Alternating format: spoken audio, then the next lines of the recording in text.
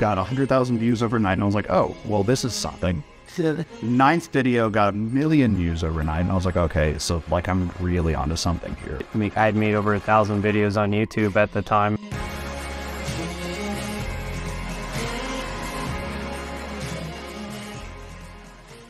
And so stemming from that, he started like real estate content, right? Uh, how did you get into that from, I guess, going from software engineer to like um, getting a property? When at what point did you start making content after that uh, sensitive question you? Well, I actually started making content before I started doing real estate, but it wasn't about real estate. Uh, I first started making a blog about the, the software engineering stuff I was doing. And I started making YouTube videos about, I used to be an Alexa skill developer, so I would make like Alexa skills. And so I was sh- is showing my skills using YouTube and a blog. And then after that, I was like, oh, I really like this self improvement stuff. So I just started making videos about self improvement from that. And then as I was going through this process buying the property, I was noticing that other people had the same problem. So I was like, oh, shoot, like I should talk about this. Like this is actually niche. Whereas before I didn't have an itch. I literally would just talk about the book I was reading at the time. And like, who wants to listen to someone who isn't super successful Yeah. talk about a book that they're reading at the time? No one wants to listen to that. Yeah, I find a lot of people too when they find their like, calling or whatever is niche. Um, it's always like solving a problem. Like, okay, this is something that I am aware of. I know these issues and not fix them, and I can put this content out to like help or entertain somebody in the space. So it's actually very interesting you said that because I've heard that sim uh, a similar response in different categories as well uh, for that. Yeah, I think being like being your own customer is a really important thing. It's like uh, I'm building the thing that I'm solving Yeah, that I have problem for. And the sense of how did you get the content? So I've been making content since I was in middle school. Um, it started out by me making just like kind of like comic book style videos.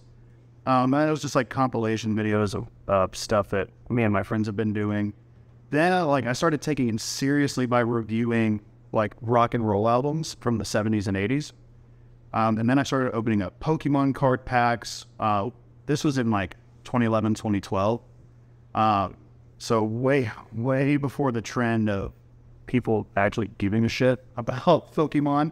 It was just like super nerdy at the time still. Yeah, Uh, I mean, I just kind of let it go because none of that really took off. Um, I did I did the Pokemon stuff probably the longest. It was about a year and a half. Um, but I had my first success uh, during the pandemic, uh, teaching people how to buy cars because that, that was my background before I went into content creation fully timeless. Uh, helping people with all different types of loans. Uh, I worked at one of the largest financial institutions in the world, processing loans all day. Um, and when the pandemic like really kicked off, um, for whatever reason, the car market exploded. It did. You went absolutely crazy. People that don't are aren't aware, cars were used cars were going for more than like new cars. Yeah. it was insane. Um, so I realized that nobody really knew how to buy a car. So a lot of most of the deals that were coming through that I would have to like either congratulate people for being approved for, um, or uh, let them down and say, yeah, you can't finance 225% of what a car is valued at.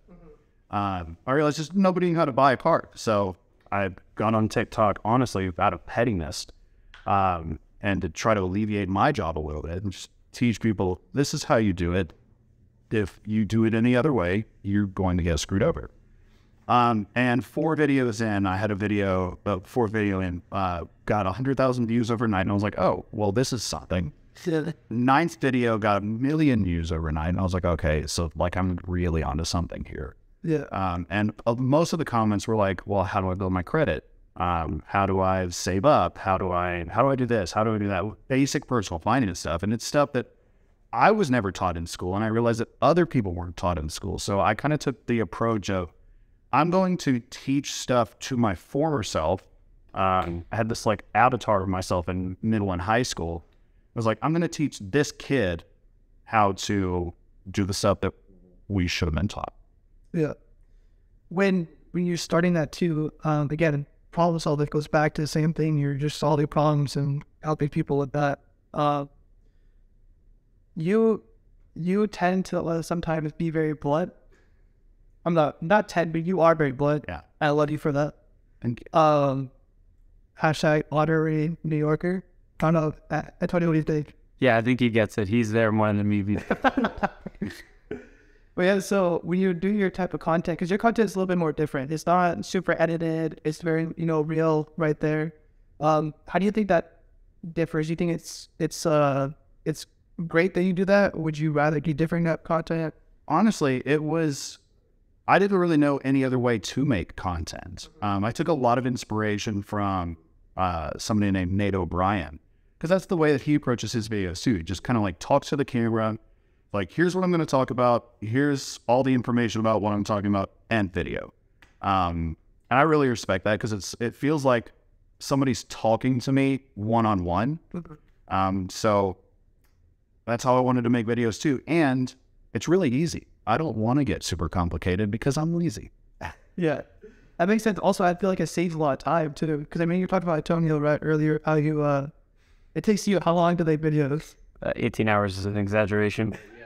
Sometimes I spend a lot of time on a video and I get very little output from the video. Yeah. Yeah. Where where was your success coming from? Like, did it take you a long time to build up your um your profile and your page, or was it more of like a couple videos went viral? I'm gonna get to this, or was it slow and steady? I mean, it wasn't necessarily slow and steady, but it I I basically was on YouTube for four years, and then I switched over to TikTok, and then obviously the opportunity at TikTok at the time was a lot easier. So I had luck in that sense of being one of the few real estate people at the time who was making content about real estate.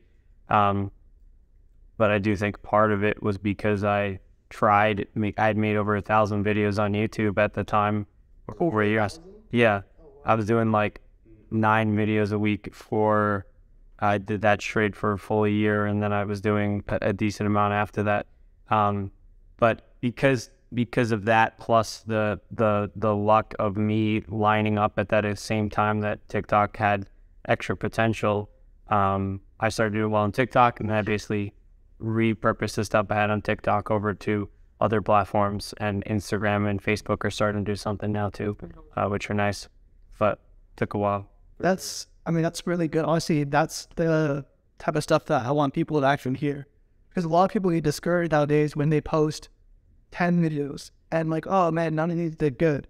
You had to do a thousand on YouTube. and It didn't even work, and then you went to TikTok. You know. I still post YouTube videos, and I only have 4,700 subscribers six years later. The plus than a thousand beer. Jeez. Yeah, but you still, but, but that's like the the whole point is this: you push through. You said, "I'm gonna keep going." I think that's very admirable. Like that's something I really really respect about somebody is that um, I think it's easy. It's not easy, but I do believe that it's easier for people that already have one in life or have had success on social media or some platforms, and then to come back and say, um, you know, somebody that that hasn't had any success but they keep going. I feel like that I respect that person so much because they have everything to lose. They're not gaining anything, but they're still continuing to move forward. And so I think that's really, really respectable, honestly.